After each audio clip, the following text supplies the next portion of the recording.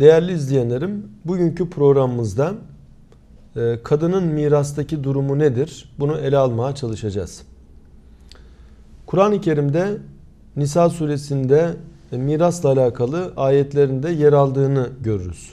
Allahu Teala dinin bazı meselelerini ana hatlarıyla bildirmiştir. Bazılarında daha böyle ayrıntılı bir şekilde bildirmiştir.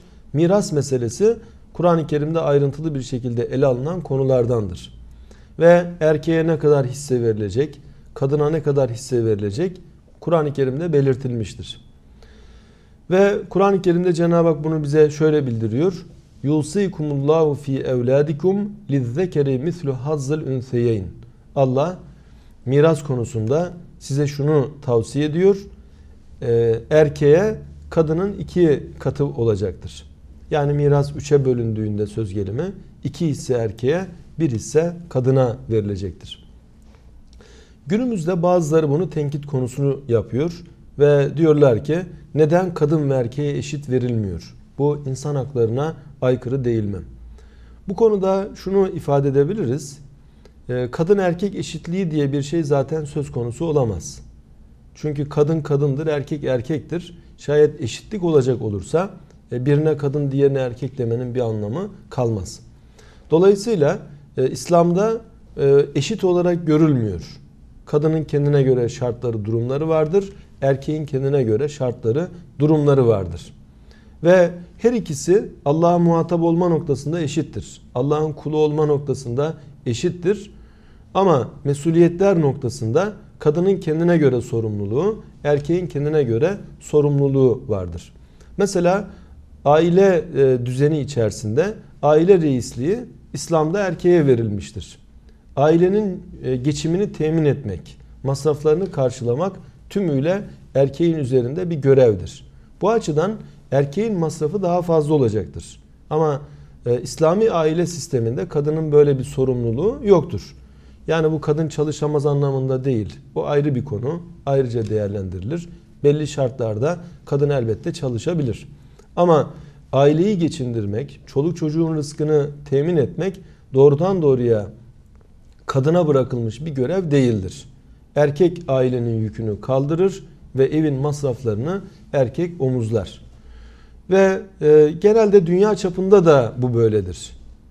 Yani her ne kadar son 100 yılda belki kadınlar da erkekler gibi hayatın her alanında e, çalışmaya çalışmışlarsa da fakat e, insanlık alemine genel bir bakışla bakacak olursak genelde ailenin yükünü erkek omuzlar ve ailenin masrafları erkeğin üzerindedir. Bu durumda madem ki erkeğin e, masrafı fazla oluyor, mirasta da erkeğe e, kadının iki katı verilmesi gayet makul karşılanması lazım.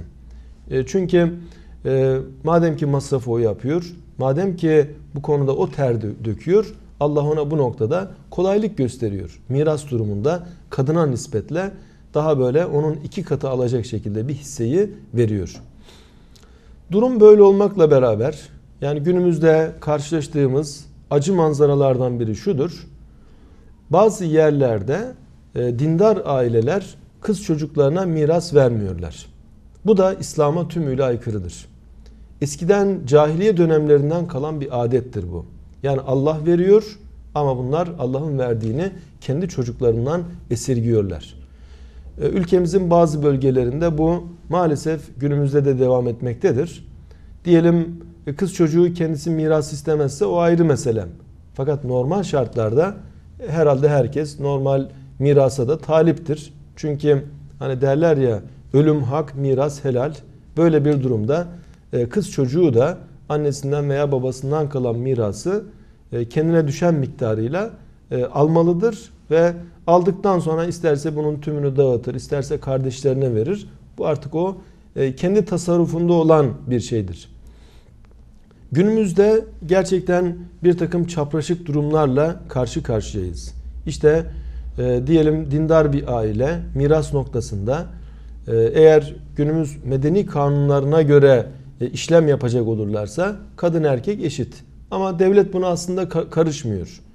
Ama mahkemeye intikal etmişse devlet o zaman şu andaki yürürlükte olan kanunlara göre kıza ve erkeğe eşit olarak veriyor. Ama mahkemeye intikal etmeden dindar aileler isterlerse Kur'an-ı Kerim'in öngördüğü şekilde e, diyelim kadına bir erkeğe iki hisse bu şekilde miras taksimini yaparlar ve devlet buna karışmaz. Mahkemeye intikal ettiğinde mevcut kanunlara göre e, devlet gereken taksimi yapar. İşte başka bir çapraşık durum dindar ailelerinin dindar ailelerin bir kısmının e, kızlarını mirastan mahrum etmeye çalışmaları ve bunu bir örf olarak devam ettirmeleri. Eğer örf dine muhalifse o örfün değiştirilmesi gerekir. Normal şartlar altında örf muteberdir. Din örfü reddetmez. Ama dinin ölçülerine aykırı olmamak şartıyla. Ne zaman ki örf dinle çatışıyorsa bu durumda örfün, törenin düzeltilmesi gerekir. İslam öncesinde kadınlara hiç miras verilmezmiş. Hatta e, kadınlara e, adeta insan nazarıyla da bakılmazmış. Ama Kur'an-ı Kerim ayetleri geliyor. Kadınların da erkekler gibi mükellef olduğunu, onların da ona göre müstakil değerleri olduğunu ifade ediyor. Aynı zamanda mirasta onların hakkı neyse hakkını teslim ediyor. Daha diğer kadınlarla alakalı diğer hükümler böylece gerçekten İslam tarihinde bir inkılap gerçekleşiyor ve kadın kendine gelmeye başlıyor. Daha önceki varlığı bile kabul edilmez, kendinden bahsedilmez bir durumdayken bir takım haklara, hürriyetlere kavuşuyor. Aradan 14 asır geçmiştir ve milletimiz aslında bu konudaki hükümleri de bilmektedir. Cahili değildir. Müslüman bir toplum.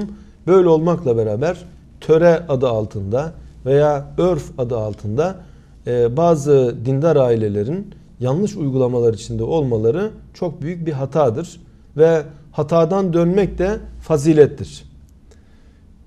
Fert olarak bir insanın bazı hataları olabilir, dönmesi lazım. Toplum olarak toplumun bir takım hatalar olabilir. O toplumun da bundan e, dönmesi gerekir. Biz dine mi uyacağız yoksa dini kendimize mi uyduracağız? Elbette samimi bir Müslüman dine uymaya çalışır. Yoksa dini kendine uydurmaya çalışmaz. Ben böyle anlıyorum öyleyse böyledir. Bu şekilde bir din anlayışı olmaz. Din insanların keyiflerine bırakılmış bir olay değildir. Din semavidir ve insanlar o semavi ölçülere e, uymakla mükellef. Harama helale dikkat etmekle mükellef. Ve Peygamberimiz Aleyhisselatü Vesselam dinin muamelat olduğunu söylüyor. Evet dinin kalbe bakan yönü var, imana bakan e, yönü var ama dinin muamelata bakan yönleri de var. Dolayısıyla dinin muamelata bakan yönleri Müslümanlar tarafından iyi bir şekilde bilinmeli ve ona göre düzgün bir şekilde uygulanmalı. Cenab-ı Hak istikametle dini yaşamayı hepimize nasip eylesin. Bir başka programda görüşmek üzere. Hayırlı günler diliyorum.